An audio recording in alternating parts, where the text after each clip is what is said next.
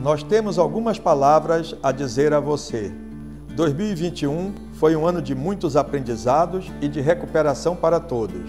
E nós do Amaral Costa Medicina Diagnóstica temos muito a agradecer e vamos fazer isso começando pela doutora Isabela Amaral, nossa diretora técnica. Quero agradecer a você pela sua resiliência e por acreditar em dias melhores. 2021 não foi fácil, mas vimos uma luz de esperança se acender em nossos corações. Não foi, Beto? Sim, Isabela. Queremos agradecer a quem, em plena pandemia, não deixou de cuidar da sua saúde como das pessoas que ama. Isso, Roberto. 2021 foi um ano de expansão, porque, independente das adversidades, cuidar da saúde dos nossos clientes continua sendo o nosso maior objetivo. E queremos fazer isso da melhor maneira possível.